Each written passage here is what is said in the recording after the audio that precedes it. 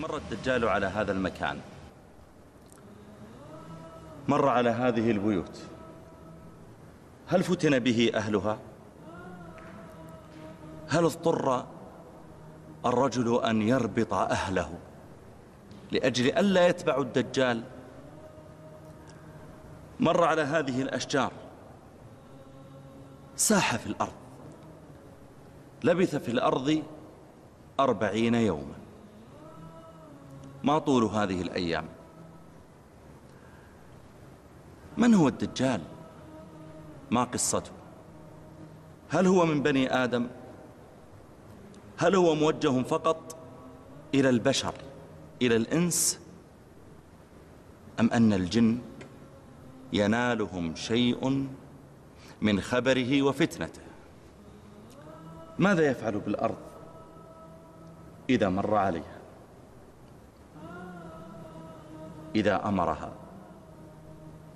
هل تطيعه؟ إذا نظر إلى السماء ثم أمرها هل تطيعه؟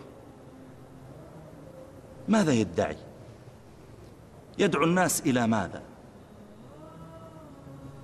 لماذا نوح عليه السلام يبعث إلى قومه فيحذرهم من اتباع المسيح الدجال. يبعث شعيب إلى قومه قبل أن يفارقهم يحذرهم من المسيح الدجال. يبعث صالح إلى قومه قبل أن يفارقهم يحذرهم من المسيح الدجال. يوسف يحذر قومه المسيح الدجال. صالح يحذر قومه المسيح الدجال. ما من نبي إلا وقد حذر قومه من المسيح الدجال من رحمته وخوفه ووجله عليهم. يحذرهم منه. ما هي فتنة المسيح الدجال؟ كيف مر على هذه الدنيا قبل أن تخرب؟ ما هو تأثير المسيح الدجال في الأشجار. هل تطيعه لماذا قال النبي عليه الصلاة والسلام فلا يبقى ذات ظل؟ كل الأشجار تكون كما نرى خاوية على عروشها قد قتلها الجدب ويبست. فلا يبقى ذات ظل ينبت منها لحم أو يشبع منها بطن لماذا؟ لماذا سمي بالدجال؟ ما هو الدجال؟ الفتن التي تقع على الناس متنوعة منها فتن في الأموال يعطي الله تعالى الإنسان مالا ثم يأمره أن يخرج الزكاة. هو محبوب إليه ومع ذلك يأمره أن يخرج منه. أن يعطيه لشخص ما تعبك تعبه ولا نصبك نصبه. ولا سهر الليل وسافر لأجل أن يجمعه ومع ذلك أناول الفقير منه. فتنة المال. منها فتنة الولد. إن من أموالكم وأزواجكم إن ابن أبنائكم وأزواجكم عدوا لكم. فاحذروا. إنما أموالكم وأولادكم فتنة. أما الدجال فوالله ما خلق الله فتنة أبدا أعظم من المسيح الدجال. خرج عليه الصلاة والسلام على أصحابه وإذا هم يتذاكرون. قال ما تتذاكرون؟ تتحدثون في ماذا؟ قالوا في المسيح الدجال. ذكرته لنا فأكثرته حتى ظننا أنه في أطراف النخل من كثرة ما يتحدث النبي عليه الصلاة والسلام عن الدجال في مجالسه وبين أصحابه وفي خطبه ظن الصحابة أنه قريب أنه في أطراف المدينة قد وصل إلى النخل. فقال عليه الصلاة والسلام غير الدجال أخوفني عليكم. في شيء أعظم فتنة وشرا من الدجال. وكأنه يقول لأصحابه لا تلوموني أنا أكثرت عليكم. فتنة عظيمة. أغير الدجال أخوفني عليكم. إن يخرج وأنا فيكم.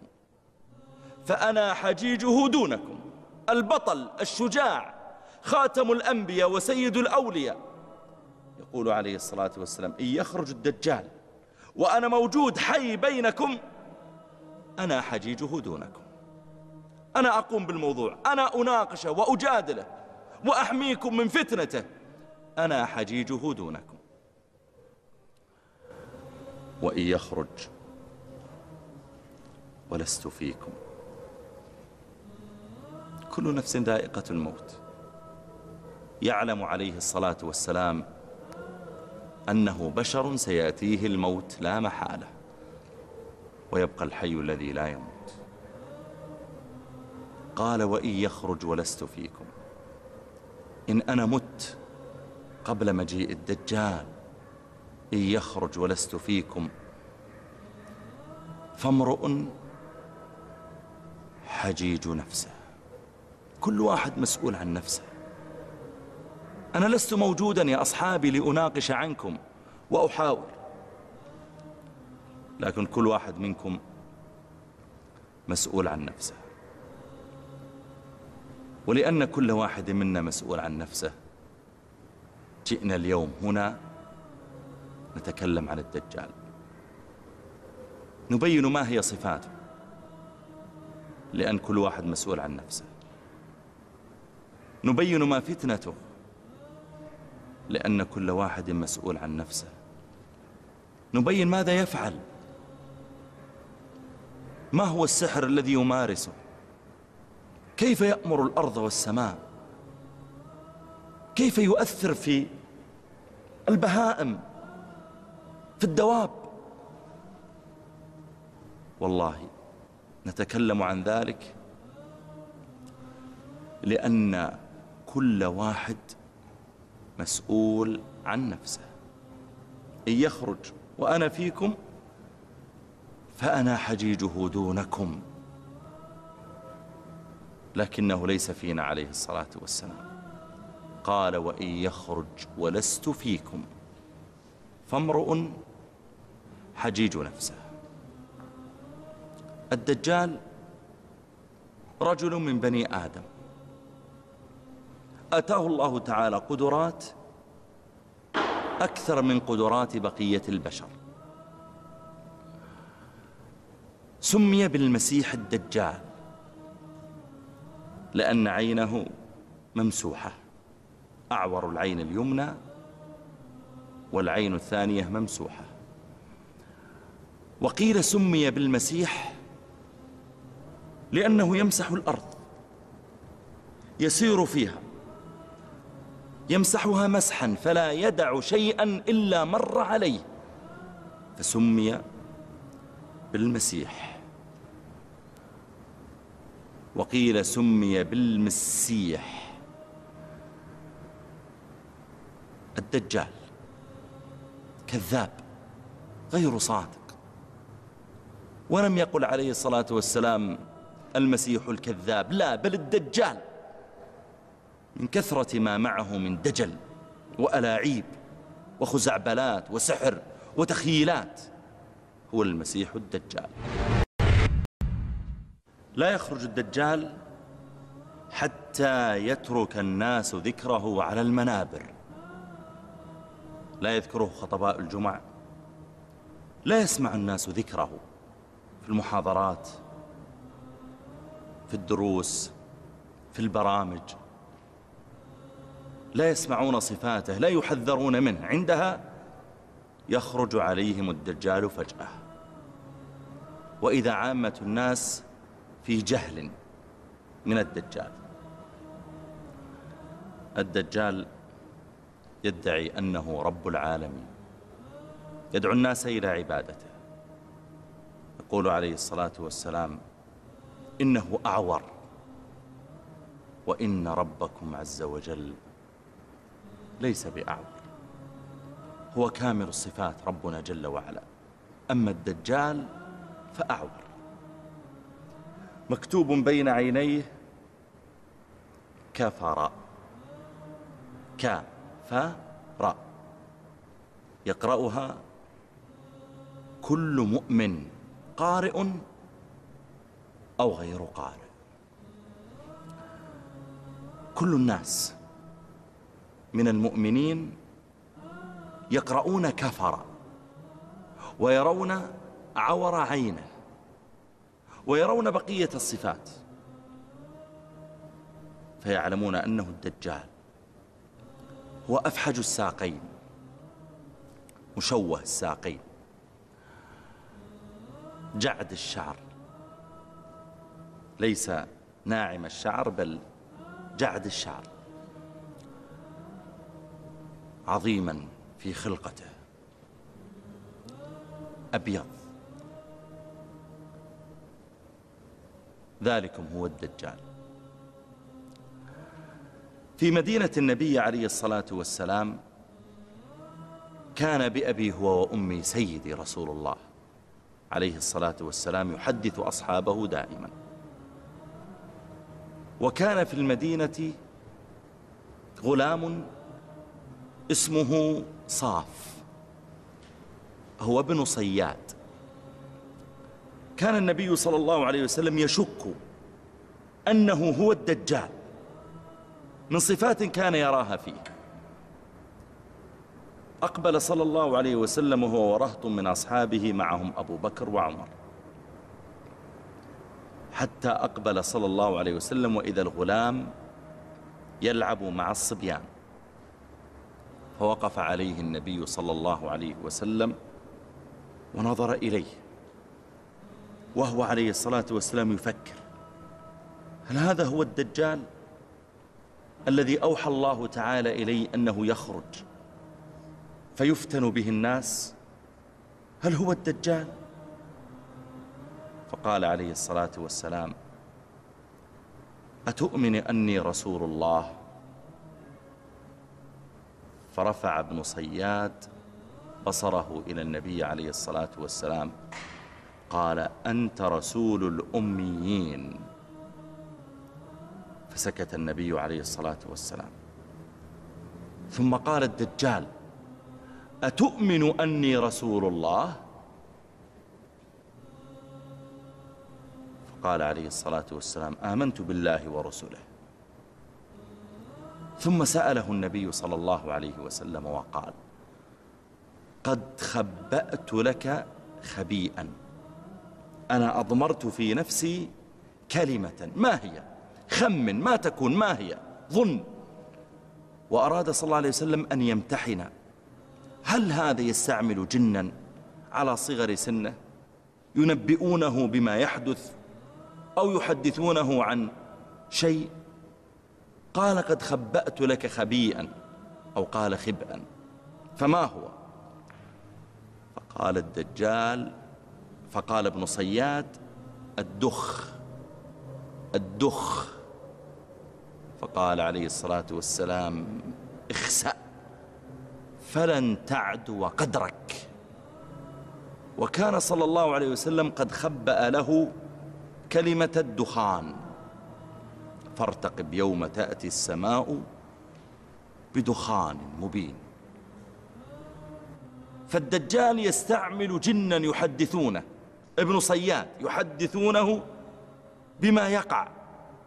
فلم يستطع أن يستخرج له الجن ما في قلب رسول الله عليه الصلاة والسلام. فجعل يخمن قال الدخ الدخ. فقال عليه الصلاة والسلام اخسأ فلن تعدو قدرك. يعني أنت مخادع تستعمل الجن والشعوذة. ولا زال عليه الصلاة والسلام يفكر هل هو الدجال؟ فقال عمر يا رسول الله ائذن لي فلأضرب عنقه. هذا الغلام الذي عنده هذه الخزعبلات وهذا الجن ائذن لي أن أضرب عنقه. فقال عليه الصلاة والسلام إن يكن هو لا يا عمر لا. إن يكن هو إذا هذا يا عمر هو الدجال فعلا فرجل آخر سيقتله. ليس أنت يا عمر. إن يكن هو فلن تسلط عليه لن تسلط عليه وإن لم يكن هو فلا حاجة لك في قتله. إذا كان ابن صياد ليس هو الدجال فلماذا تقتله؟ وإن يكن ابن صياد هو الدجال فالذي سيقتله رجل آخر. إنه عيسى بن مريم عليه السلام. ثم أقبل صلى الله عليه وسلم في يوم إلى جهة ابن صياد.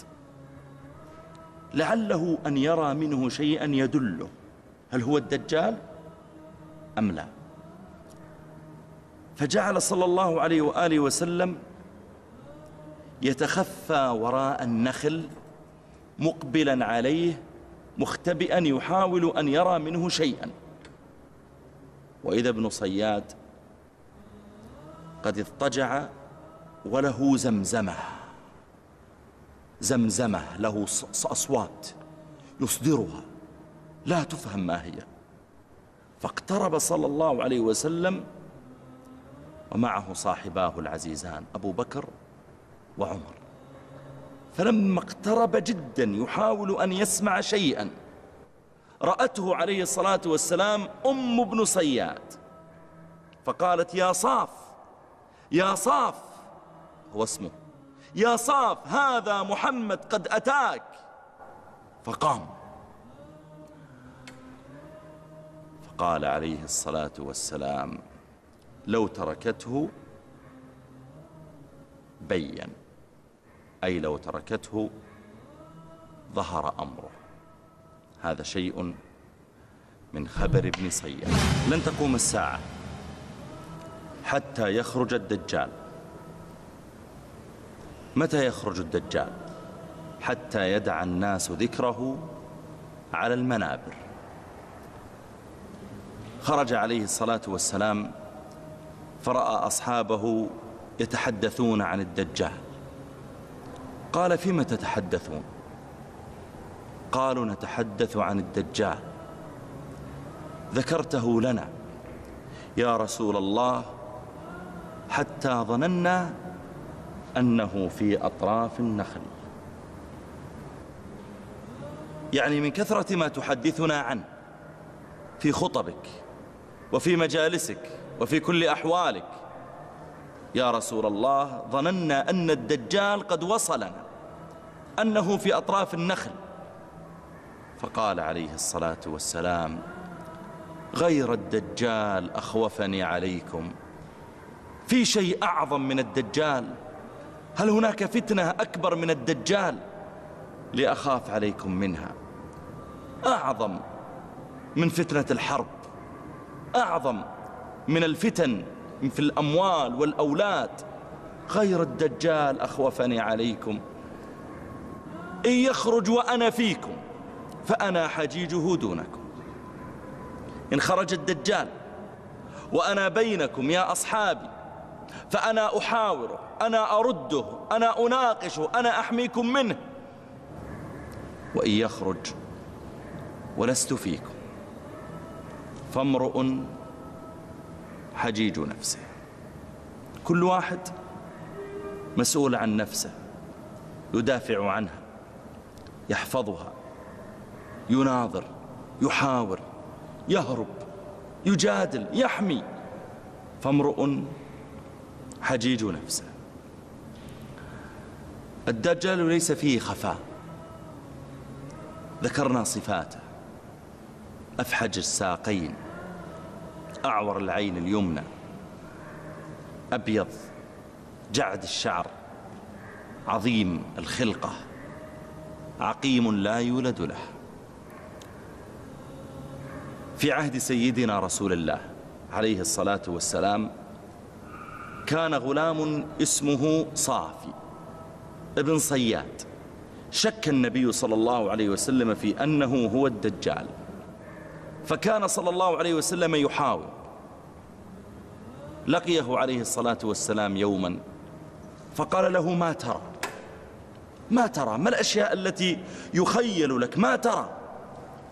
فقال أرى عرشا على الماء. قال عليه الصلاة والسلام ذاك عرش إبليس. كانت الشياطين تلعب به وتعبث وتوحي إليه وإن الشياطين ليوحون إلى أوليائهم يجادلوكم. قال أرى عرشا على الماء.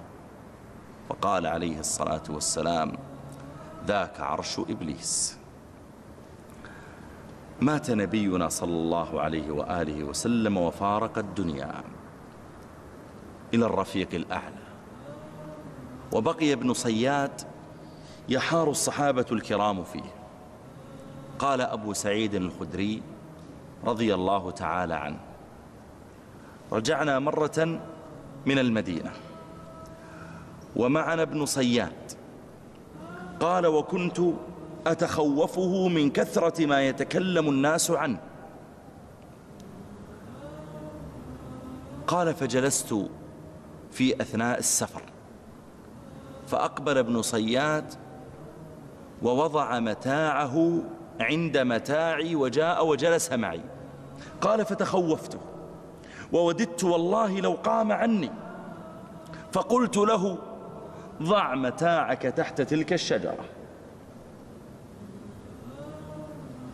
فإن الجو حار.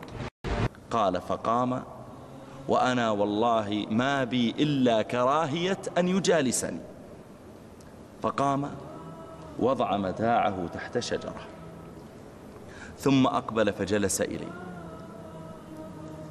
ثم قام فرأى غنما فقام بعس إليها قام بإناء. فحلب له ثم جاء إلي وقال اشرب. قال فقلت له إن الجو حار وإن اللبن حار لا أريد أن أشرب.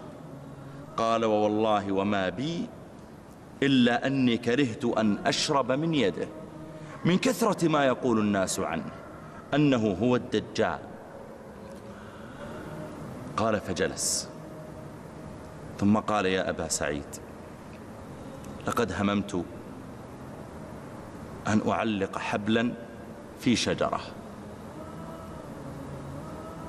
ثم أربط طرفه في حلقي فأختنق.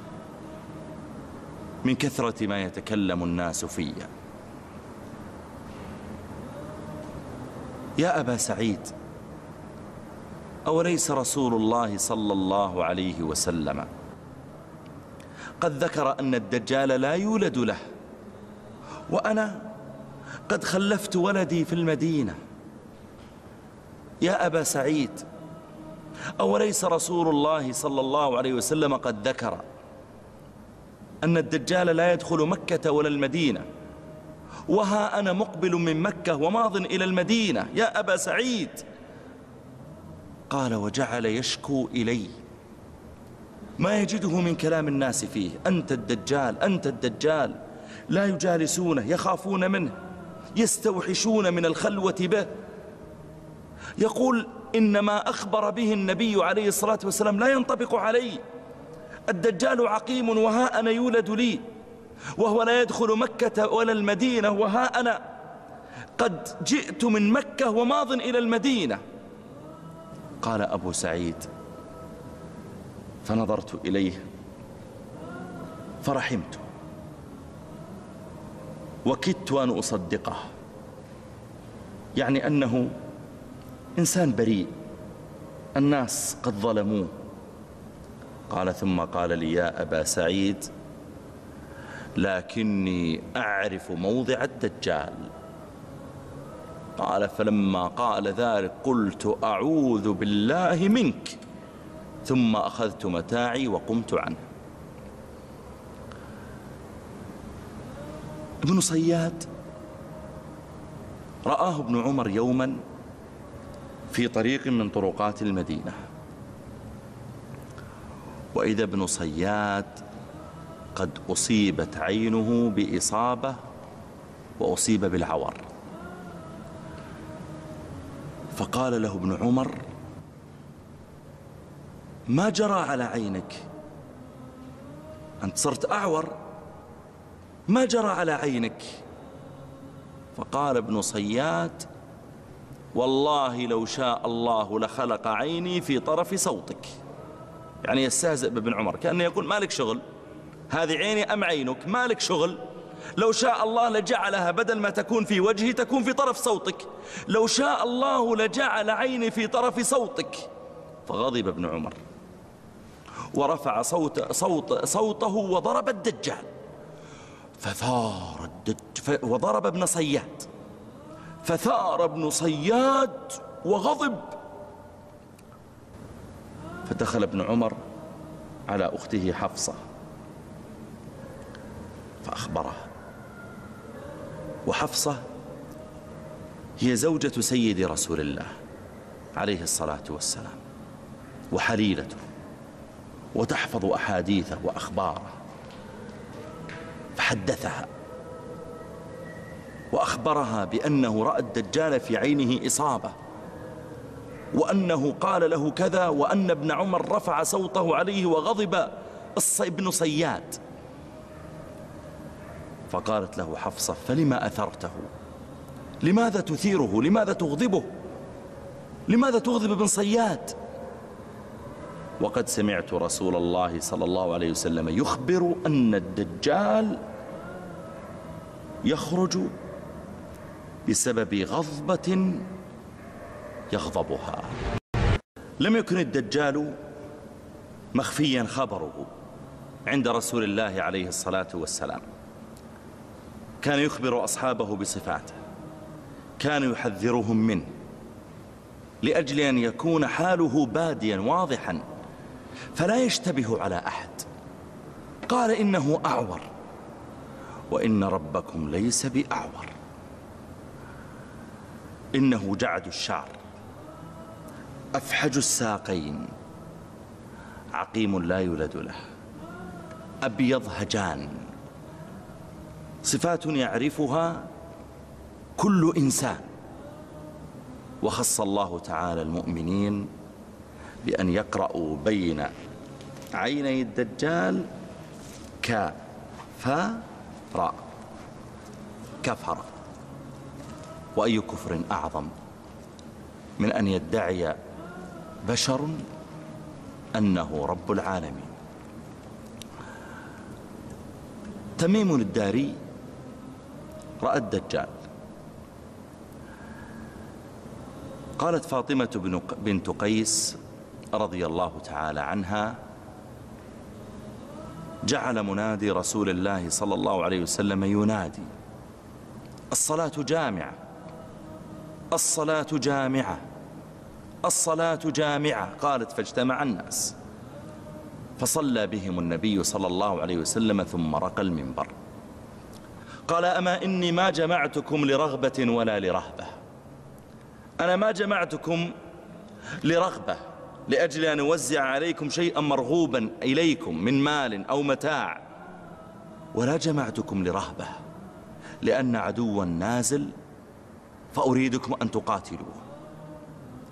لكن تميما الداري حدثني بحديث. وافق ما كنت أخبرتكم به من خبر الدجال. حدثني تميم أنه خرج في الجاهلية وكان نصرانيا فأسلم. خرج في الجاهلية في سفينة مع ثلاثين رجلا من لخم وجذام. فماج بهم البحر حتى بلغوا مغرب الشمس ورسوا إلى, إلى جزيرة. وقد ماج بهم البحر شهرا كاملا. رست بهم السفينة فجلسوا في طرفها مستوحشين ثم نزلوا. فلقيتهم دابة أهلب كثيرة الشعر. لا يدرى ما قبولها من دبرها من كثرة شعرها. فلما رأوها فزعوا. قالوا لها من أنت؟ قالت أنا الجساسة. قالوا وما الجساسة؟ قالت انطلقوا إلى هذا الرجل في الدير فإنه إلى خبركم بالأشواق. قال ففزعنا منها لما ذكرت رجلا وخشينا أنها شيطانة. والدير هو بيت بعيد مهجور عن البنيان. قال فمضينا حتى دخلنا الدير دخلنا البيت. وإذا رجل كأعظم ما أنت راء من الرجال وأشده تقييدا قد جمعت يداه إلى عنقه. وقد قيد بالحديد من قدميه إلى ركبتيه. قال ففزعنا. قلنا له ما خبرك؟ قال قد قدرتم على خبري. يعني سأخبركم عن خبري. لكن أخبروني من أنتم؟ يعجب كيف وصلتم إلى هذه الجزيرة؟ من أنتم؟ قال نحن قوم من العرب ثلاثون رجلا. من لخم وجذام ركبنا سفينة فماجت بنا شهرا في البحر. حتى رسونا إلى جزيرتكم. فلقيتنا دابة أهلب كثيرة الشعر لا يدرى قبلها من دبرها. قلنا من أنت؟ قالت أنا الجساسة. قلنا وما الجساسة؟ قالت امضوا إلى هذا الرجل في الدير فإنه إلى خبركم بالأشواق فجئنا إليك. قال إني مخبركم عن خبري. فأخبروني عن نخل بيسان. قالوا عن أي حاله تستخبر؟ قال ألا يزال ينبت؟ يثمر؟ قالوا نعم. قال أما إنه يوشك أن لا يثمر. أخبروني عن بحيرة طبرية. قالوا عن أي حالها تستخبر؟ قال أفيها ماء قالوا نعم. قال أما إنه يوشك أن يجف ماؤها. أخبرونا عن عين زغر. هل يشرب أهلها منها وهل يزرعون من مائها؟ قالوا نعم.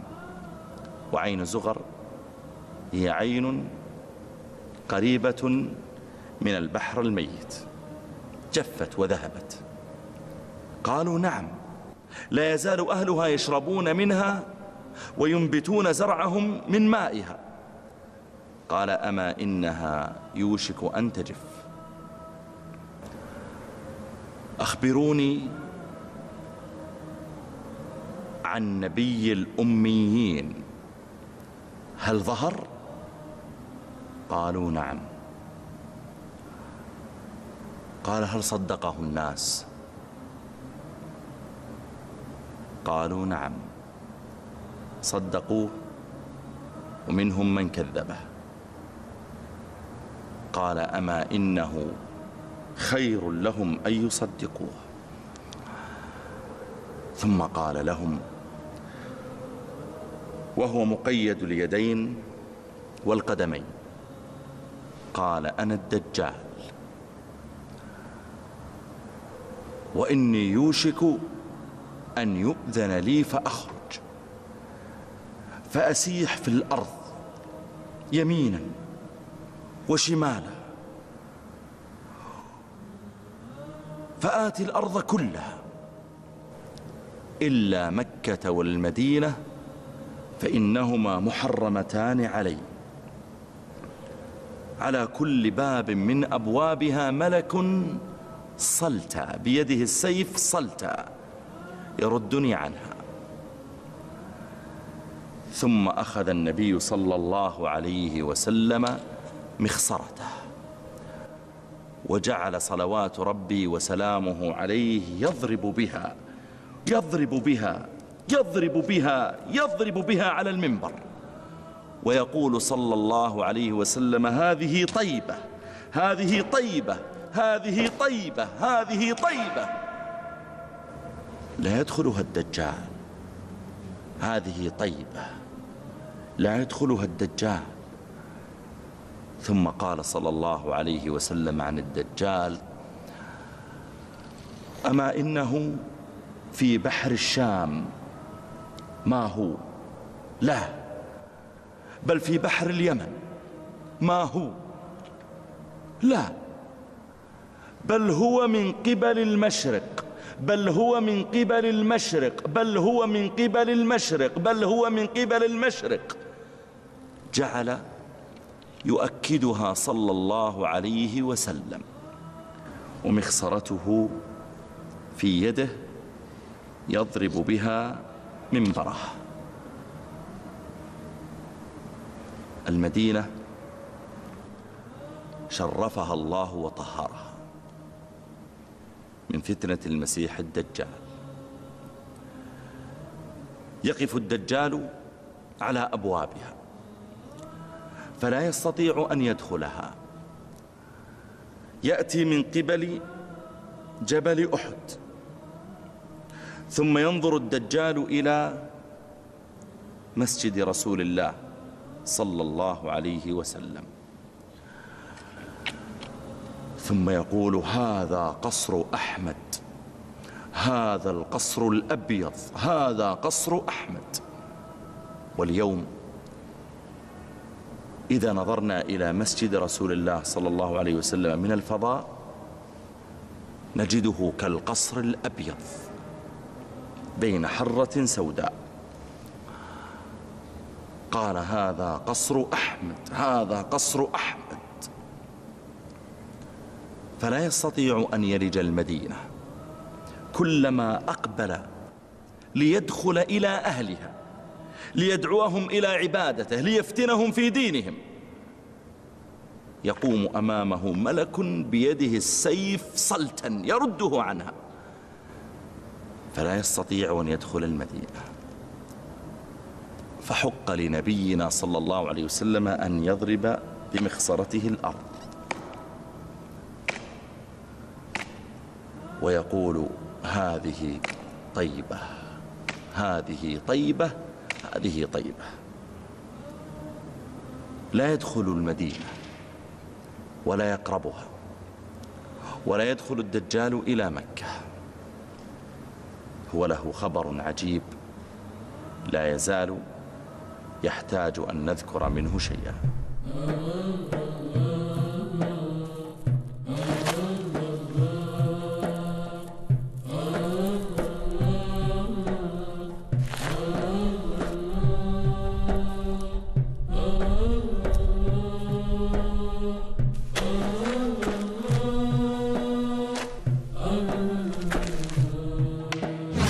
ليس أمر الدجال خافيا على الناس. وقد أخبر النبي صلى الله عليه وآله وسلم بصفاته وحذر من اتباع فتنته. بل بين صلى الله عليه وآله وسلم شكله حتى إذا رآه الإنسان علم أن هذا هو المسيح الدجال. مكتوب بين عينيه كافا راء يقرأها كل مؤمن قارئ وغير قارئ.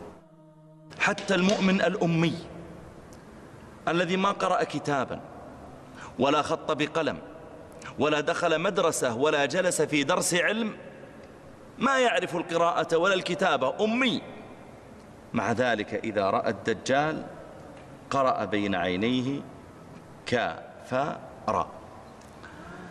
جعد الشعر. أعور. وإن ربكم ليس بأعور. ما من نبي بعثه الله إلا أنذر أمته المسيح الدجال. ثم قال صلى الله عليه وسلم وإني محدثكم حديثا ما حدثه نبي من الأنبياء لقومه. نوح أنذر قومه ولم يخبرهم بهذا الخبر. صالح أنذر قومه. لكنه ما أخبرهم بهذا الخبر. شعيب أنذر قومه الدجال. لكنه ما أخبرهم بهذا الخبر. يوسف يعقوب إبراهيم إسماعيل إسحاق. أنذروا أقوامهم من الدجال. لكنهم ما أخبروهم بهذا الخبر. قال بأبيه وأمي عليه الصلاة والسلام ما من نبي إلا أنذر قومه المسيح الدجال. وإني محدثكم بحديث ما حدثه نبي قبلي. إنه أعور. وإن ربكم ليس بأعور. المسيح الدجال يظهر في آخر الزمان. يمر على بيوت الناس. يمر عليهم في أراضيهم في مجالسهم. يمر عليهم وهم في بساتينهم. مر على هذه الديار التي نراها. لكنها أصبحت بعده خرابا يزعم المسيح الدجال أنه رب العالمين وإن ربنا ليس بأعور. يدعو الناس إلى عبادته واتباعه. فما فتنة الدجال؟ كيف يفتن الناس؟ كيف يجذبهم إلى تصديقه؟ قال عليه الصلاة والسلام يخرج الدجال في خفة من الدين وقلة من العلم. خفة من الدين. ليس هناك ثقل للدين عند الناس. ليس هناك حجم وهيبة للدين في خفة من الدين. تساهلوا بصلاتهم. الاقتصاد تساهلوا بالربا. تساهلوا بحجاب النساء. تساهلوا بالاختلاط. تساهلوا بظهور أمور الشرك في خفة من الدين وقلة من العلم. على هذه المجموعة من الناس يخرج الدجال بفتنته. قلة من العلم. ليس عندهم علم بالعقيدة بالفقه بالتفسير بالحديث. ما عندهم علم أساسا حتى بصفات الدجال. فإن الناس إذا تركوا ذكر الدجال على المنابر خرج الدجال عليهم. ما يتذاكر الناس الدجال أصلا وبالتالي ليس عندهم معلومات تتعلق به. وقال عليه الصلاة والسلام عمران بيت المقدس خراب المدينة أو قال خير خراب يثرب. يثرب التي كانت مساجدها مليئة بالمصلين المدينة التي نراها. يتزاحم الناس في طرقاتها في مسجدها في مساكنها وفنادقها وبيوتها. يأتي عليها زمان تطوف فيها السباع والكلاب ليس في شوارعها أحد أبدا. عمران بيت المقدس يعمر الأقصى وفلسطين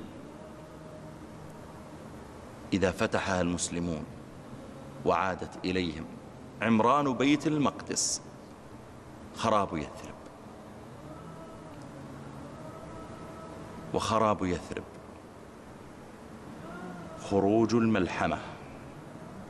ملحمة هي المعركة الكبرى بين المسلمين والنصارى.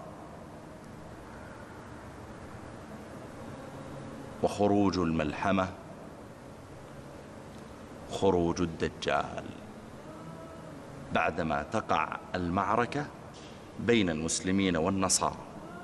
ويأتي النصارى تحت ثمانين راية تحت كل راية اثنا عشر ألفا. بعدها يخرج الدجال. وقال عليه الصلاة والسلام تصطلحون أنتم والروم صلحا تاما. فتغزون عدوا من ورائكم. فتغلبون فتغلبون وتغنمون. يكون في غنائم وغلبة لجيش هو تحالف بين المسلمين والنصارى. قال فإذا غلبتم غلب هذا التحالف ذلك العدو الذي من ورائنا من ورائنا من يكون. من ورائنا يعني من شرق المدينة من يكون. قال فتغلبون وتغنمون قال فيرفع رجل من الروم الصليب ويصرخ غلب الصليب غلب الصليب غلب الصليب فينطلق عليه رجل من المسلمين ويأخذ الصليب ويكسره. ويقول كذبت بل الله غلب. إن ينصركم الله فلا غالب لكم بل الله غلب. قال فتنطلق عصابة على هذا المسلم فيقتلونه. وينطلق عصابة من المؤمنين فيقاتلونهم. فيتواعدون للملحمة للقتال العظيم الذي يأتي فيه النصارى تحت ثمانين راية ربما هم ثمانين دولة أو ثمانين جيشا فيقتتلون مع المسلمين. ينتصر المسلمون وبعدها يخرج الدجال. قال عليه الصلاة والسلام وخروج الملحمة وقوع الملحمة فتح القسطنطينية. وفتح القسطنطينية خروج الدجال. وقال عليه الصلاة والسلام ينزل الروم في الأعماق أو قال بدابق يعني في شمال سوريا. يأتي الروم من أوروبا فلا يزالون يسيرون جنوبا مقبلين على بلاد المسلمين بلاد العرب. يأتي الروم حتى ينزلوا في مرج دابق في شمال سوريا. قال فتخرج عليهم عصابة من المدينة أو قال جيش من المدينة يعني من مدينة دمشق. هم خيار أهل الأرض يومئذ. قال فيلتقون فينهزم ثلث يعني من جيش المؤمنين لا يتوب الله عليهم أبدا. ويقتل ثلث هم خير الشهداء عند الله. ويفتح الله على ثلث. قال فيفتحون القسطنطينية. ينطلقون شمالا فيفتحون القسطنطينية. قال فبينما هم يقتسمون الغنائم قد علقوا سيوفهم بشجر الزيتون. لم يقل قد علقوا أسلحتهم. لا إنما قال قد علقوا سيوفهم. دلالة على أن الناس سيعودون إلى الأسلحة القديمة. سيف وخنجر ورمح وسهم وخيل وبغال وإبل. قال فبينما هم كذلك قد علقوا سيوفهم يقتسمون الغنائم إذ صاح صائح فيهم ألا إن الدجال قد خلفكم في ذراريكم. الدجال خرج إلى أهلكم. قال فيرجعون وذلك باطل. يعني الخبر غير صحيح. فإذا, فإذا وصلوا دمشق بعدها يخرج عليهم الدجال. له فتنة عظيمة. أخبر بها النبي صلى الله عليه وآله وسلم. وأخبر عليه الصلاة والسلام أن الدجال يخرج من قبل المشرق. قال إنه خارج خله ما بين الشام والعراق. الأردن وسوريا لها حدود مع العراق. إنه يخرج في هذه المنطقة. خلة ما بين الشام والعراق. هل سيخرج الدجال من حدود الأردن مع العراق؟ في شمالها أم في جنوبها؟ أم سيخرج في حدود سوريا مع العراق؟ إنه خارج من قبل المشرق. يخرج خلة ما بين الشام والعراق. يسيح الدجال في الأرض. فلا يدع منها موضعا إلا دخله إلا مكة والمدينة. مقدار لبثه في الأرض أربعون يوما. يمر فيها على كل شيء. لو لقيت أهل هذا البيت لحدثوك أنهم سمعوا به أو مر بهم. ترى هل اتبعوه؟ أم هربوا بين يديه؟ أم وقعوا في فتنته؟ مر بهذه الأشجار. مر بهذه المواضع. لو نطقت لحدثتك بخبره. يلبث في الأرض أربعين يوما. لكن ليست كأيامنا. يوم طويل كسنة. طوله طول سنة. ثلاثمائة وخمسة وستون يوما. تجعل يوما واحدا. بدل ما تطلع الشمس ثم تغرب بعد اثني عشرة ساعة أو ثماني ساعات فإنها في هذا اليوم من أيام الدجال تطلع الشمس ثم تكون بطيئة جدا في سيرها.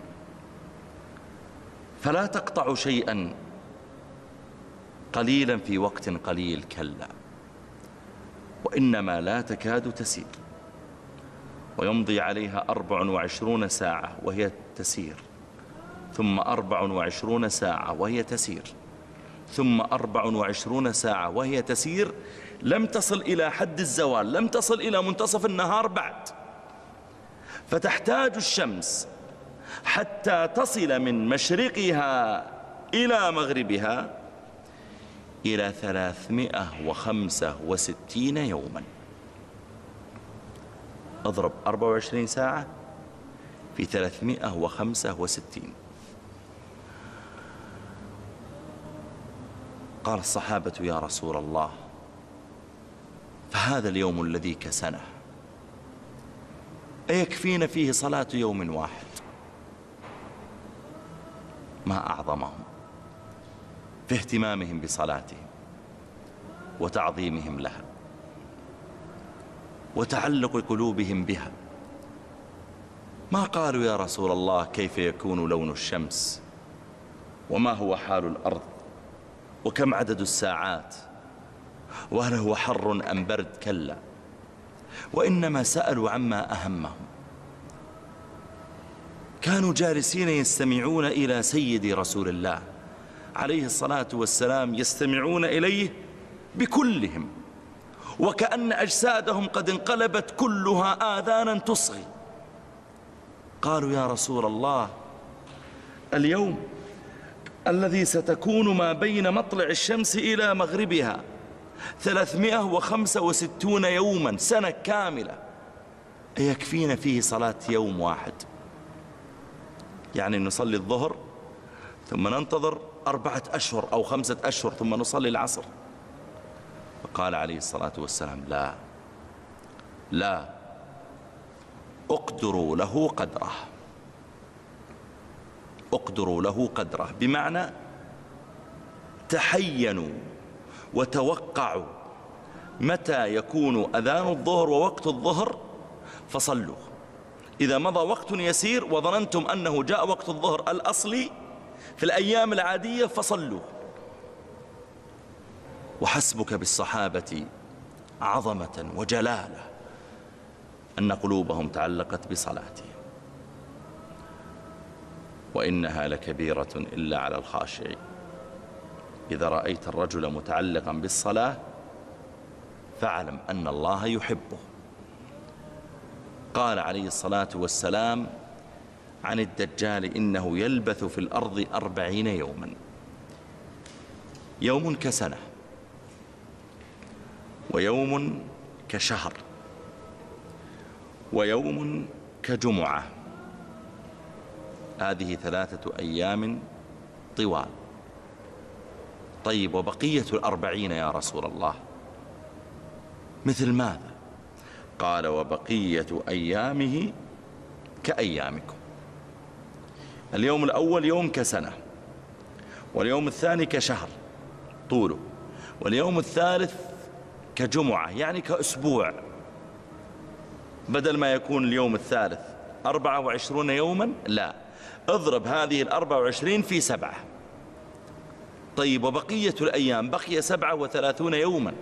قال وبقية أيامه كأيامكم. يعيث في الأرض يمينا وشمالا. يدخل كل الأرض. يمر على مدنها. يمر على بواديها يمر على جزرها على جبالها على وديانها. لا يضع شبرا من لا يدع شبرا من الأرض إلا ساح فوقه ومسحه يدعوهم إلى عبادته. قبل الدجال قبل أن يظهر الدجال. قال عليه الصلاة والسلام مخبرا لنا أنه تمر على الناس ثلاث سنين عجاف. في السنة الأولى يأمر الله الأرض فتمسك ثلث نباتها ويأمر الله السماء فتمسك ثلث قطرها. يعني صاحب الأرض بدل ما ينبت تنبت له أرضه في كل سنة. مئة من مئة كيلو من القمح أو الشعير في تلك السنة يأمر الله الثلث فتمسكه الأرض فلا يخرج إلا مئتان. قال عليه الصلاة والسلام ثم في السنة التي بعدها يأمر الله الأرض فتمسك ثلثي. نباتها ويأمر السماء فتمسك ثلثي قطرها. ثم في السنة الثالثة يأمر الله الأرض فتمسك نباتها كله ويأمر السماء فتمسك قطرها كله فلا يبقى دابة إلا هلكت. ولا يبقى ذات ظل إلا هلكت. ترى الأشجار بعدما كانت خضراء حسنة لها ظل وارف ترعى فيها الطير والدواب وربما أكل منها الناس ثمارا أو استفاد من ورقها تراها قاحلة لا ترى إلا أغصانا يابسة. قال عليه الصلاة والسلام فلا يبقى ذات ظل إلا هلكت. هذا قبل خروج الدجال. قال الصحابة يا رسول الله فما يعيش الناس؟ كيف الناس يعيشون ما دام ما في ورق شجر ما في ثمر ما في دواب؟ فما يعيش الناس؟ قال التهليل والتكبير والتسبيح. المؤمن بكثرة ذكره لله يعطيه الله تعالى قوة في بدنه تتحمل. يخرج الدجال من جهة المشرق. على الناس فلا يزال يدعوهم إلى عبادته. منهم من يفتن به ومنهم من يواجهه. ومنهم من يفر منه ومنهم من يجتمع لحربه ومنهم من يطعنه بحربته. من كثرة ما حدثهم عن الدجال صلوات ربي وسلامه عليه صاروا يتحدثون عنه في مجالسهم يتناقشون عن حاله. ما هي الفتن التي تكون معه؟ كيف يكون اتباع الناس له؟ ما هي الأسباب التي تعصم الناس من اتباعه وفتنته؟ حتى تحاوروا يوما في مسجده المبارك صلى الله عليه وسلم فخرج عليهم عليه الصلاة والسلام وإذا هم جلوس يتحاورون في أمر الدجال. قال فيما تتحدثون؟ قالوا يا رسول الله نتحدث عن الدجال قد أكثرت علينا فيه بمعنى أنك حدثتنا وأنت على منبرك. حدثتنا وأنت جالس في مسجدك. حدثتنا ونحن نسير معك في غزواتنا وأسفارنا. قد أكثرت علينا فيه. يا رسول الله حتى ظننا الدجال في أطراف النخل أنه اقترب من المدينة. فقال صلى الله عليه وسلم غير الدجال أخوفني عليكم. إن يخرج وأنا فيكم فأنا حجيجه دونكم. إذا طلع الدجال وأنا موجود بينكم يا صحابة أنا المسؤول عن حواره عن مناقشته عن إسكاته. وإن يخرج ولست فيكم فامرؤ حجيج نفسه. كل واحد مسؤول عن نفسه. إذا لا بد أن نعرف من هو الدجال حتى نستطيع أن نحذر فتنته. لأن كل واحد منا حجيج نفسه. لا بد أن نعرف ما هي فتنته ما هي صفاته. لأن كل واحد مسؤول عن إنجاء نفسه من الدجال. الدجال يدعي عددا من الدواعي من أولها وأعظمها أنه يدعي أنه رب العالمين. آتاه الله تعالى قدرات من السحر والتخيلات ما يفتن الناس بها حتى يتخيل بعض الجهلة أنه ربما يكون الله وبالتالي يتبعونه ويعبدونه. يمر الدجال على الأرض الخريبة التي كان فيها سكان قبل عشرات أو مئات السنين فإذا نظر إلى الأرض الخريبة ورأى تهدم جدرانها وانبعاث الغبار من كل أنحائها ورأى أشجارها كيف يبست وكيف نسيها الناس وهجروها قال لها أخرجي كنوزك. وإذا كل قطعة ذهب أو فضة قد دفنت في الأرض وإذا هي تتفجر من الأرض وتتبعه كنوزها كعياسيب النحل كأنها مجموعة نحل تجري وراءه.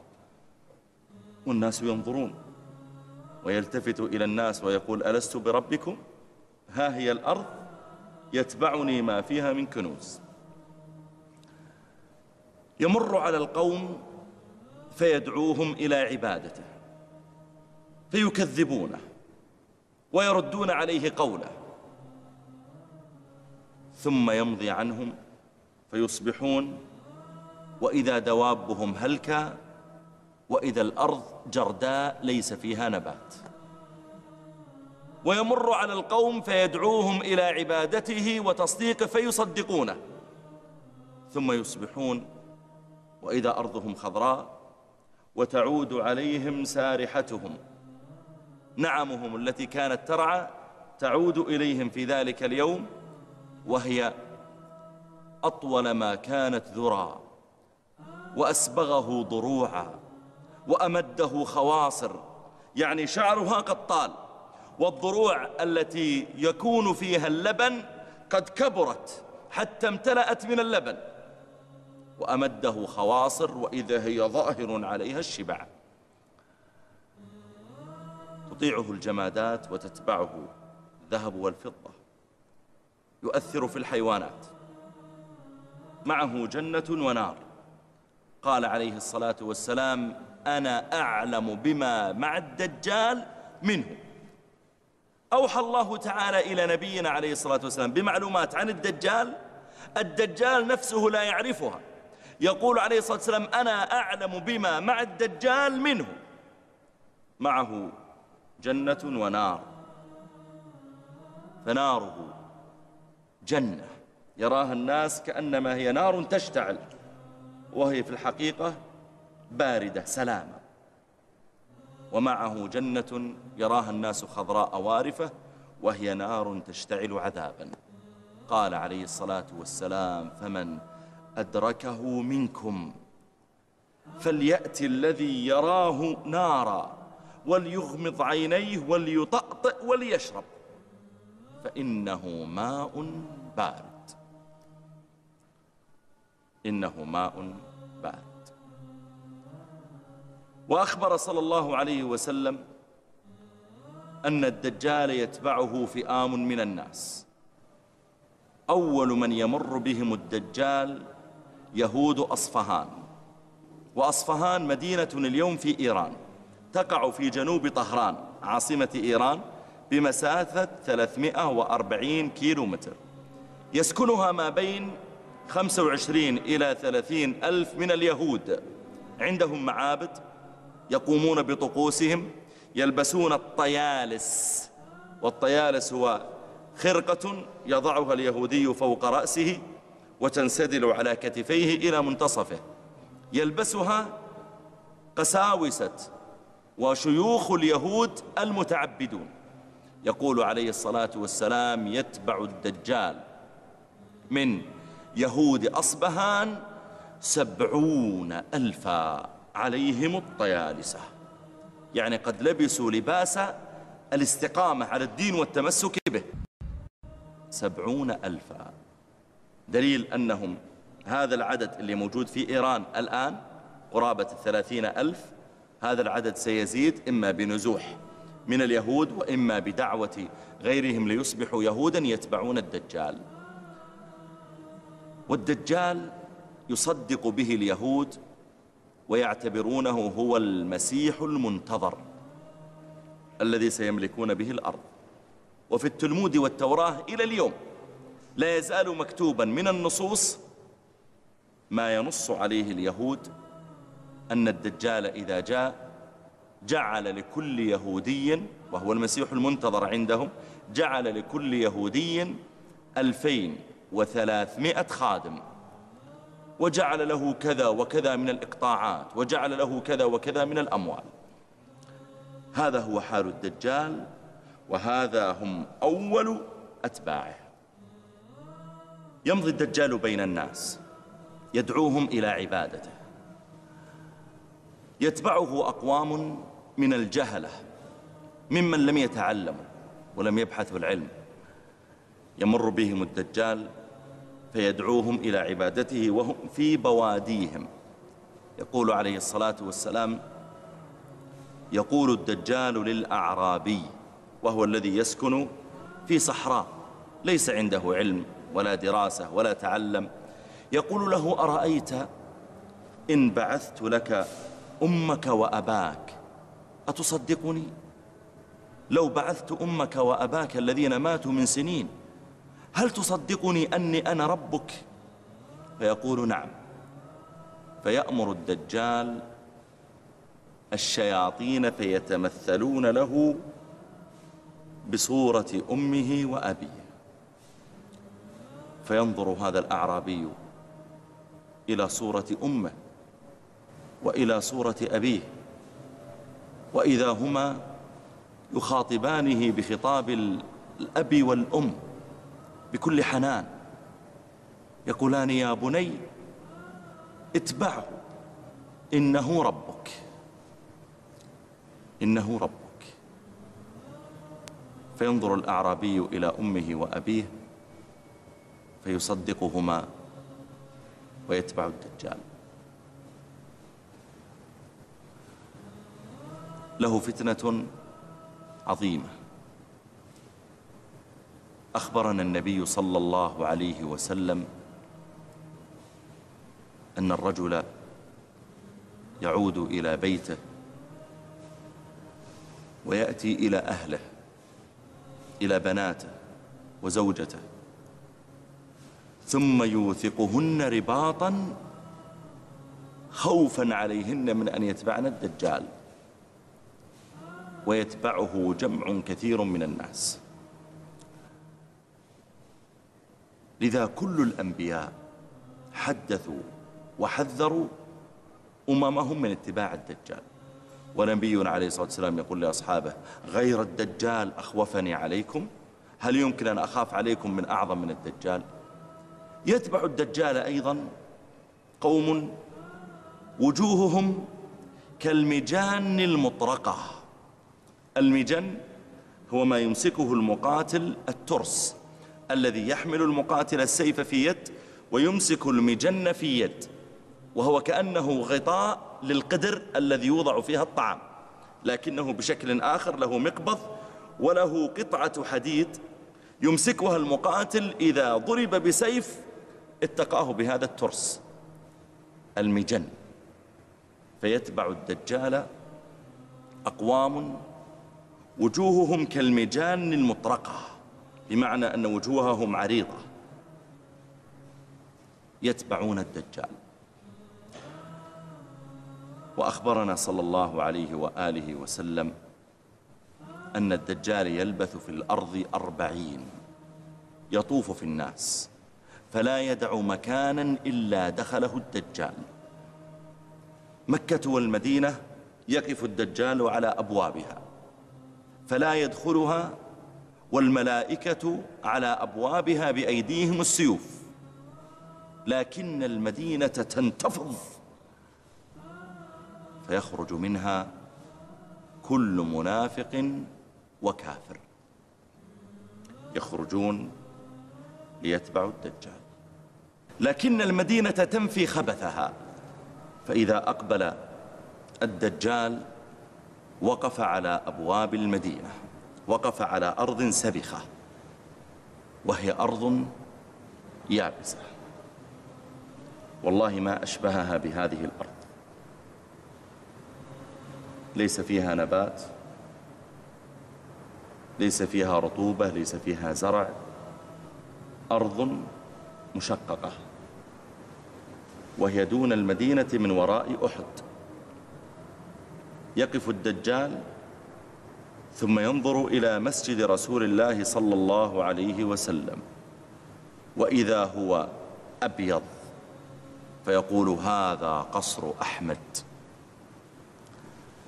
ولا يستطيع أن يدخلها فتنتفض المدينة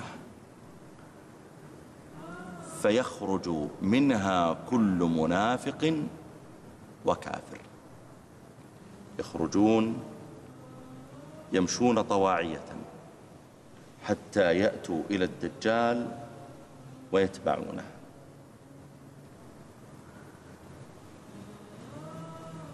يمضي الدجال ثم يقبل شاب طالب علم رجل يقبل متوجها إلى الدجال فيلقاه مسلحة الدجال الحرس.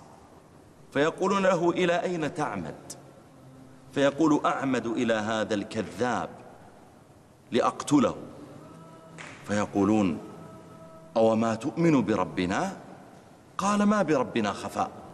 أنا أعرف صفات الله فأؤمن به. أما أن أؤمن بالأعور الكذاب لا والله. فيسل أحدهم السيف عليه ليقتله. فيقول له آخر لا تفعل. أليس قد أمركم ربكم ألا تقتلوا أحدا دونه؟ فيقولون بلى. فيأخذون هذا الشاب ويمضون به إلى الدجال. وإذا الدجال جالس بين أتباعه الذين صدقوه. فيقول له الدجال أو ما تؤمن بي؟ فيقول أنت المسيح الكذاب. فيقبل إليه الدجال ليقتله. يقبل شاب يعمد إلى الدجال. شاب مؤمن صالح رجل فيقبض عليه مسلحة الدجال. إلى أين تذهب؟ قال أعمد إلى هذا الكذاب لأقتله. قالوا أو ما تؤمن بربنا؟ قال ما بربنا خفاء. أنا أؤمن بالله منذ أن ولدت. لا أحتاج أن تسوقوني إلى أعور كذاب فأعبده من دون الله. فيرفع أحدهم سيفه عليه. فيقول له آخر لا تقتله. أليس قد أمرنا ربنا ألا نقتل أحدا دونه؟ فيعيد سيفه في غمده ويسوقونه إلى الدجال. فإذا رآه الدجال والدجال بين مسلحته. معه سبعون ألفا من اليهود عليهم الطيالسة فهو مسيحهم المنتظر الذي يملكون به الأرض ويقتلون به الأمم ومعه جموع من النساء والأطفال والرجال والشباب. فيقول له الدجال أو ما تؤمن بي؟ قال أنت المسيح الأعور الكذاب. فيقول الدجال لمن حوله أرأيتم إن قتلته ثم أحييته. أتؤمنون بي؟ قالوا نعم. فيأمر به الدجال وينشر بالمنشار من مفرق رأسه إلى قدميه. فيقطعه جزلتين. قيل يضربه بالسيف وقيل في رواية أنه ينشر بالمنشار. ثم إذا ضرب وقطع طارت كل جزلة كل جزء رمية الغرض كأنما أخذت حجرا ورميته ربما جاوزك بأربعين مترا مئة متر فتكون قطعة يمينا وقطعة يسارا والدم يسيل والناس ينظرون إلى قطعتيه. ثم يمشي الدجال بينهما. وهو أعور. أفحج القدمين أفحج الساقين. له شعر جعد قبيح المنظر. يمشي الدجال بينهما. بعين عوراء وعين ممسوحة. ثم يلتفت إليه ويقول قم. فتجتمع الجزلتان ويستقر واقفا. فيقول له الدجال أآمنت بي؟ فيقول والله ما ازددت بك إلا يقينا أنت المسيح الكذاب. فيأخذ الدجال سكينا ليذبحه. والدجال إنسان عادي طوله كطول البشر وحجمه كحجم البشر. فيمسكه الدجال يتعارك معه ليذبحه بالسكين. فيجعل الله ما بين ترقوة الشاب ما بين أسفل عنقه. طوال رقبته يجعله الله نحاسا. فيمر الدجال السكين فلا تذبح النحاس. فيأخذه الدجال ويرميه. فيما يدعي أنه ناره وإذا هو جنته. والشاب يساق إلى تلك الجنة التي هي في صورة نار ويلتفت الشاب ويقول للناس أيها الناس لا تصدقوه والله لا يستطيع أن يفعل هذا بأحد غيري. وذلك أن الله أقدره على شخص واحد فقط. فلو قطع غيره وأراد أن يحييه لما استطاع ذلك أبدا.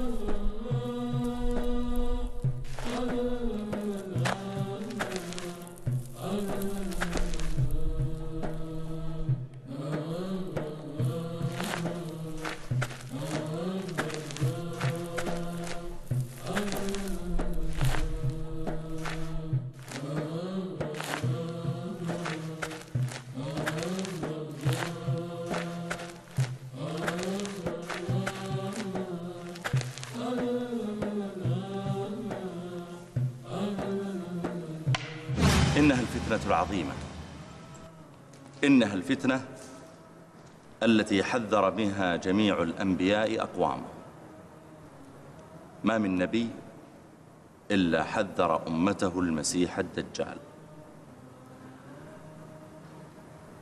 إنها الفتنة بالأعور الكذاب. إنه الرجل الذي يدعي أنه رب العالمين. يأمر الأرض الخربة. يقول لها أخرجي كنوزك. فتخرج كنوزها من جوفها. تتبعه. كيعاسيب النحل. مجموعات تجري وراءه. إنه الذي يأتي إلى الأعرابي يقول له أرأيت إن بعثت لك أمك وأباك إن بعثتهما وقد ماتا أتؤمن بي؟ يقول نعم. نعم. فيأمر الشياطين فتتمثل له بصورة أمه وأبيه فيراهما بعينه. تقول أمه وأبوه يا بني اتبعه فإنه ربك. أتباعه متعددون فيهم اليهود فيهم الجهلة فيهم قوم وجوههم كالمجان المطرقة كالترس الذي طرق بالجلود الذي يمسكه المقاتل في القتال. يدعو رجلا ممتلئا شبابا فيحاوره ويقول له هذا الرجل أنت المسيح الكذاب فيقطعه نصفين ثم يأمره فيقوم حيا. لكنه أعور كذاب. وإن ربنا ليس بأعور. فالله كامل الصفات. عظيم الأسماء.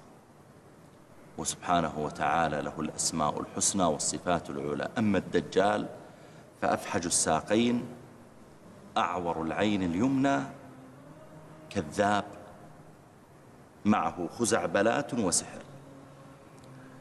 كيف يستطيع المرء أن يتقي الدجال؟ يقول عليه الصلاة والسلام ليفرن الناس من الدجال في الجبال. قالت أم شريك يا رسول الله فأين العرب يومئذ؟ العرب؟ ما جرت عادتهم أن يسكنوا في الجبال إنما يسكنون في السهول عندهم غنمهم عندهم زرعهم أما أن يسكن في جبل فما جرت عادته بذلك. فقال عليه الصلاة والسلام لأم شريك العرب يومئذ قليل. خلاص كل الناس تمدنوا. ما يوجد أعراب في البوادي. العرب يومئذ قليل. وقال عليه الصلاة والسلام من سمع بالدجال فلينأ عنه فإن الرجل يأتيه وهو يرى أنه مؤمن فيتبعه مما يرى معه. ليست شجاعة أن يأتي الإنسان ويقول أنا سأسكت الدجال أنا سأحاوره. لا. فلينأ عنه. سمعت به خرج في طرف المدينة أخرج وفر إلى الطرف الآخر. ابتعد عنه. من سمع بالدجال فلينأ عنه. فإن الرجل يأتيه وهو يرى أنه مؤمن فيتبعه. مما يرى معه يعني من الفتن. وقال عليه الصلاة والسلام فمن ابتلي بناره بنار الدجال إذا قيل له آمن به فلم يؤمن فجر إلى ما يسميه الدجال نارا وهي نهر بماء بارد لكنه يراه نارا. قال فليستغث فمن ابتلي بناره فليستغث بالله. فليستغث بالله. ليقول يا الله يا الله يا الله يا الله فليستغث بالله. من اتقاء فتنة الدجال أن نستعيذ بالله منه. إذا انتهى الإنسان من صلاته وبلغ آخر تشهده فليقل اللهم إني أعوذ بك من فتنة المسيح الدجال. أعوذ بك من فتنة المسيح الدجال. وقال عليه الصلاة والسلام من لقي الدجال فليقرأ عليه فواتح سورة الكهف. الحمد لله الذي أنزل على عبده الكتاب ولم يجعل له عوجا قيما لينذر بأسا شديدا من لدنه ويبشر المؤمنين الذين يعملون الصالحات أن لهم أجرا حسنا ماكثين فيه أبدا. وينذر الذين قالوا اتخذ الله ولدا ما لهم به من علم. يقرأ عليه فواتح سورة الكهف. أول عشر آيات. أو يقرأ الكهف كاملة. فإن الله تعالى يعصم الإنسان بذلك. في أوائل سورة الكهف ذكر للفتية الذين آمنوا بربهم وزدناهم هدى. الذين قذف الله في قلوبهم الإيمان فعصمهم من الفتن. قومهم يعبدون الأصنام يتقربون إلى الأوثان وهم معصومون من الفتن. فليقرأ عليه فواتح سورة الكهف. نعم إن القرآن عصمة. من لقي الدجال فليقرأ عليه فواتح سورة الكهف. ومما يعصم من الدجال دعاء الله تعالى. اللهم اعصمنا من الدجال. اللهم إنا نعوذ بك من فتنة الدجال. اللهم إنا نعوذ بك من فتنة الدجال ودجله يا رب العالمين. اللهم املأ قلوبنا إيمانا حتى لا يؤثر فينا الدجال. يا رب العالمين. يظل الدجال يفتن الناس يضيق على من لا يؤمن به. ربما مر بالقوم وقد صارت أرضهم خضراء حسنة فإذا تركهم صارت جدباء لا تكاد أن ترى فيها خضراء أبدا. من الذي يقتل الدجال؟ كيف تنتهي فتنته؟ وهو يسرع في الأرض. قال عليه الصلاة والسلام لما سئل يا رسول الله كيف إسراعه في الأرض؟ بهذه الفتن ويظل أربعين يوما يوم كسنة ويوم كشهر ويوم كجمعة. وسائر أيامه كأيامكم يا رسول الله كيف إسراعه في الأرض؟ فقال عليه الصلاة والسلام كالغيث استدبرته الريح كالغيوم الملبدة بالماء وقد جاءت وراءها ريح تدفعها. قال كالغيث استدبرته الريح. يفر الناس من الدجال ويلجؤون إلى الجبال ويلجأ عصابة من المؤمنين. فيهم محمد ابن عبد الله الحسني العلوي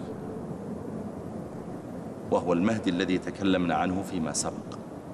الذي يكون قائد المؤمنين. لكنهم لا يستطيعون مواجهة الدجال مع حرسه وجندة.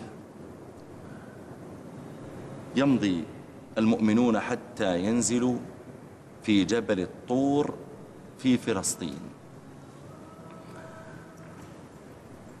ويحبسون في هذا الجبل ويقبل الدجال وينزل في أصل الجبل. يحاول أن يصعد إليهم أحد ليقتلهم. فيضيق عليهم الأمر ويشتد عليهم.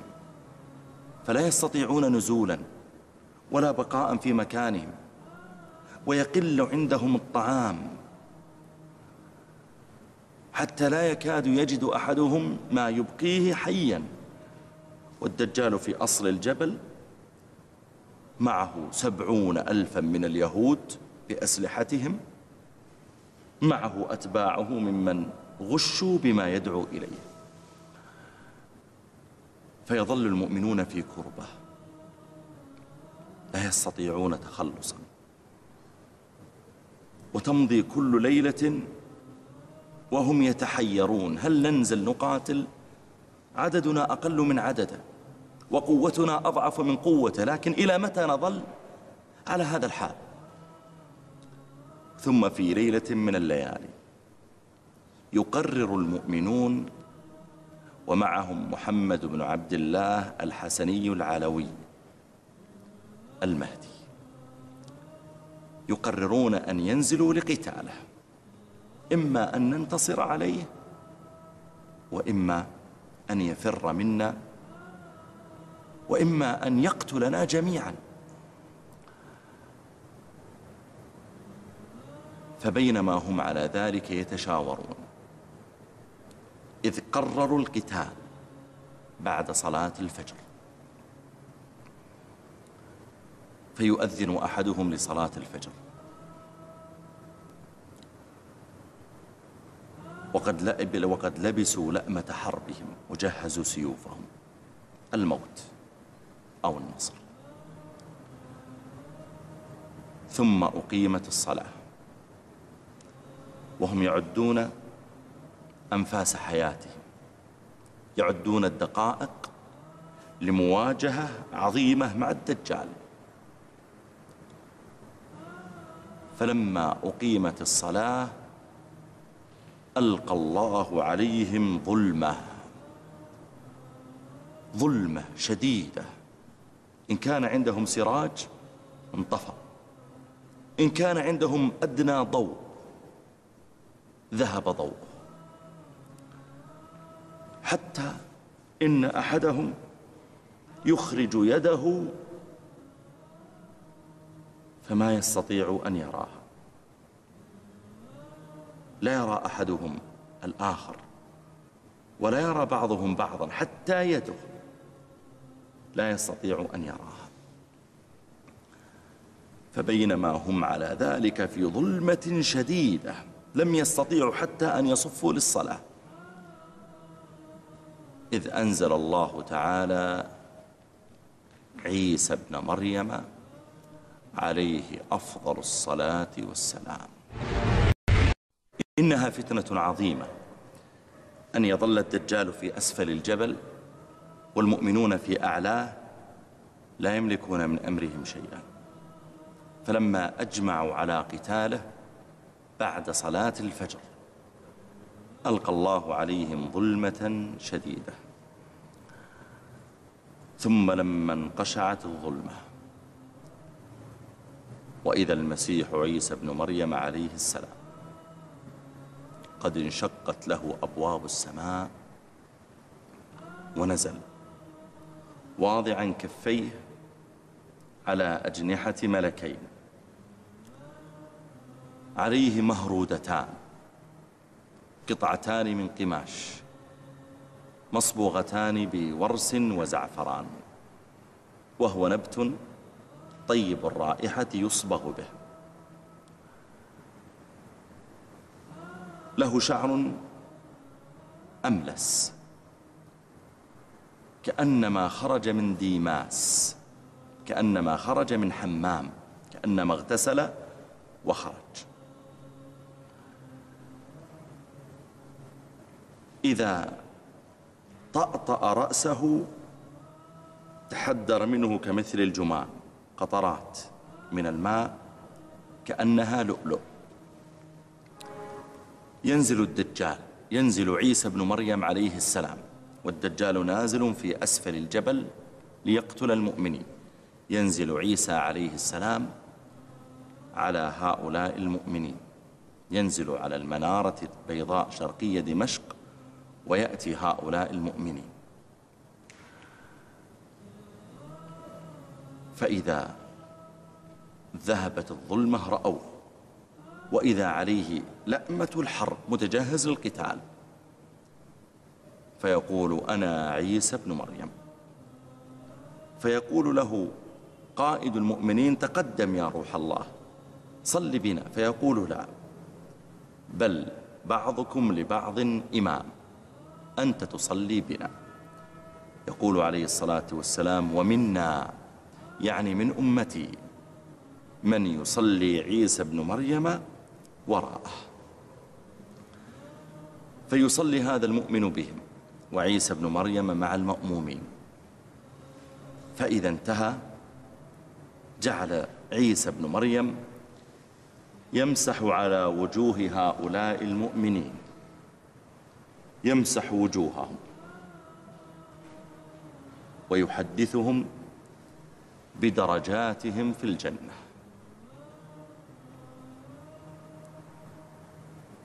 يحدثهم بدرجاتهم في الجنة. حق لهم ذلك إذا ابتعدوا عن فتنة الدجال وكانوا مؤمنين صالحين. تحملوا فراق أهلهم وأولادهم وظلوا في أعلى جبل. لم يغرهم الدجال بمال ولا ذهب ولا نساء ولا متعة. ظلوا متمسكين بالتوحيد. ما أجمل تلك اللحظات والله. صلى الله أن يعصمنا من الدجال. ما أجملها من لمسات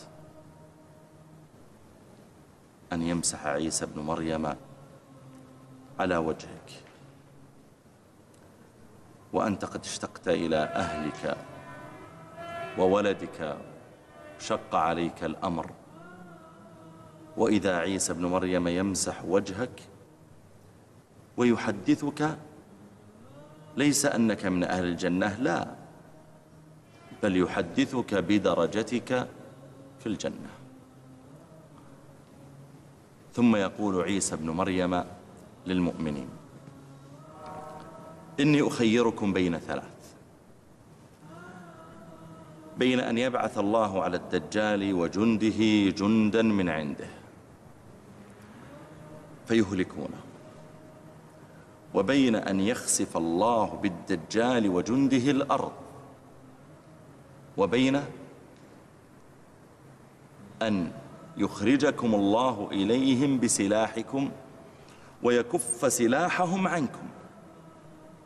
هم لا يستطيعون أن يضربوكم بالسلاح وأنتم تضربونه. أي هذا أحب إليكم؟ فيقول المؤمنون بل والله الثالثة أشفى لصدورنا. فيدعو عيسى بن مريم ربه ويخرجون. قال عليه الصلاة والسلام فإنك لترى اليهودي العظيم ترعد يده بالسيف لا يستطيع أن يقاتل. فيقتلهم المؤمنون وإذا رأى الدجال عيسى بن مريم وقف وأخذ يسيح يذوب كما يذوب الملح في الماء يتصبب عرقا وينتفض كأنما يذوب. فيقبل إليه عيسى بن مريم بحربته ويطعنه. ثم يرفع الحربة وإذا هي تقطر دما من دم الدجال.